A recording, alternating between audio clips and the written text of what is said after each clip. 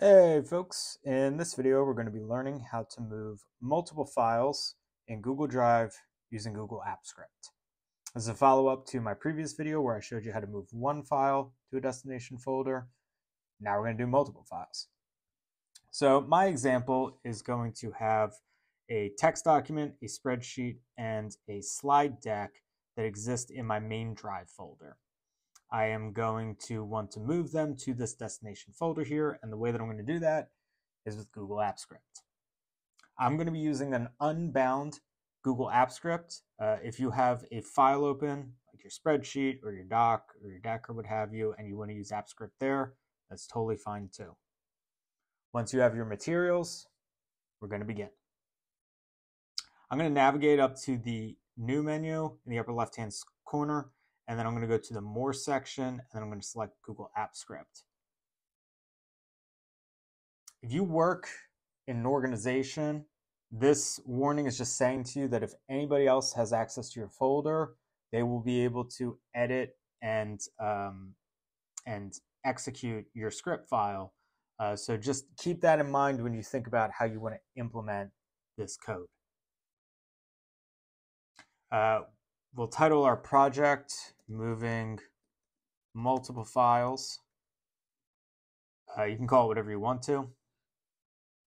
I am going to begin by writing out function, main, empty parentheses. We have no inputs. This function is merely for uh, compilation. We're going to have uh, curly brackets.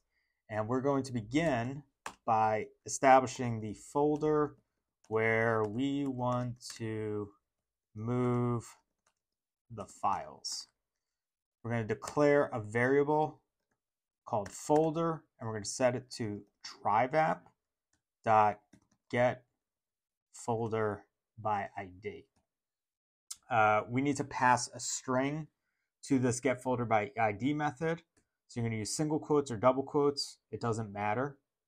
You're going to go to uh, your drive and you're going to select your destination folder and then you're going to copy the ID of the folder, which comes after folders backslash.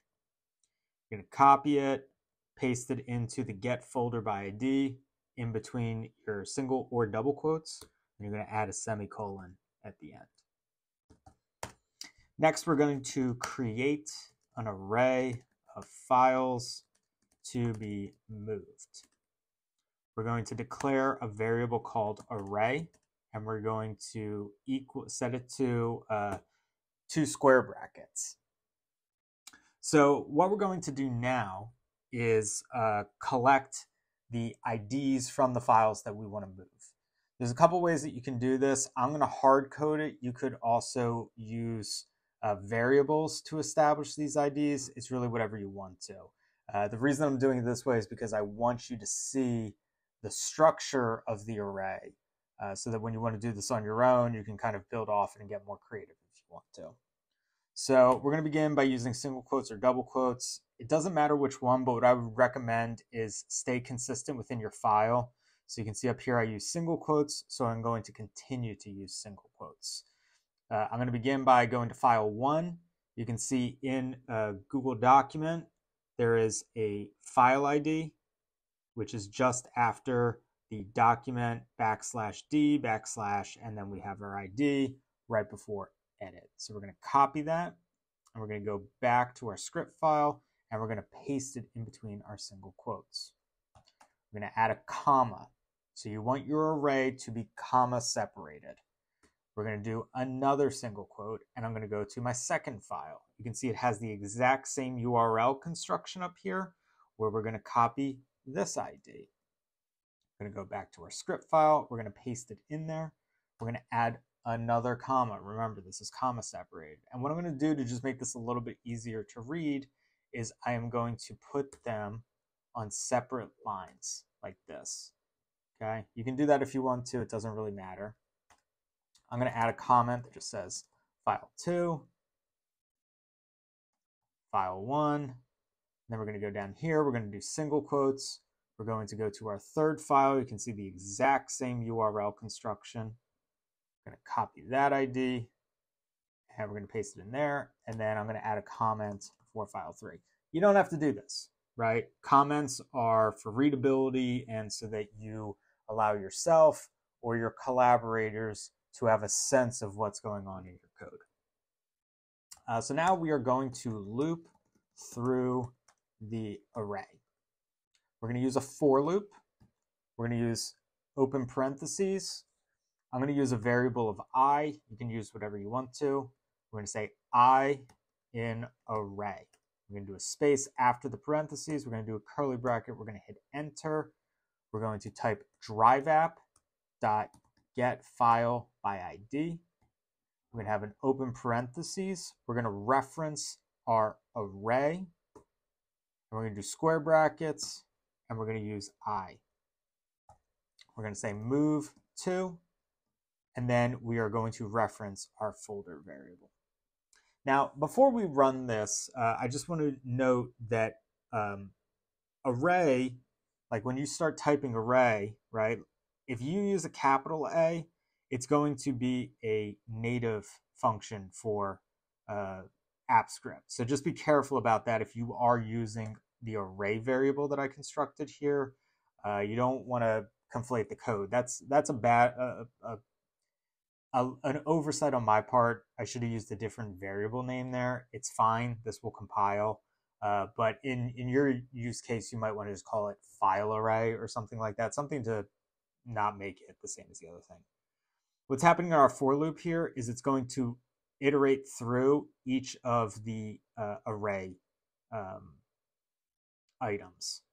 So in addition to this, this movement here, you don't have to do this. I'm just doing it so that you can see it. I'm going to use logger.log and I'm going to log array iterator just so that you can kind of see how this works. Uh, so what I'm going to do now is saving save my project. You can see my function is up there. I'm going to hit run, and then it's going to require permissions uh, because it needs to be able to create, read, update, and delete uh, from the Google Drive. Um, so you're just going to be allowing access to the application that we just wrote. So uh, you're going to review the permissions. You're going to select your email address. You're going to go to advanced and you're going to select the name of your project here. All this is saying is just that Google hasn't verified the app. It's perfectly safe. You're going to select allow. And what you'll see logging here is each item in the array, right? So that's what a for loop does here is it's merely just saying drive app dot get file ID one, two, three. It's just looping through that array. And when we go to our destination folder and we hit refresh, you'll see that now all three files exist within the destination folder and they no longer, uh, let's refresh our drive, they no longer exist in my primary drive folder. So what we learned how to do here was uh, send multiple files to a folder on our Google Drive. Uh, like I said, this is the second video in my Automating Google Drive series. So if you're interested in learning more, please check out the playlist associated with this video. Uh, if you want to learn more about automating data work and documents and decks and all that type of stuff in, in Google Drive, I have plenty of videos on my channel that I hope you'll check out. I hope you found this video helpful and I hope you'll uh, check out the next one.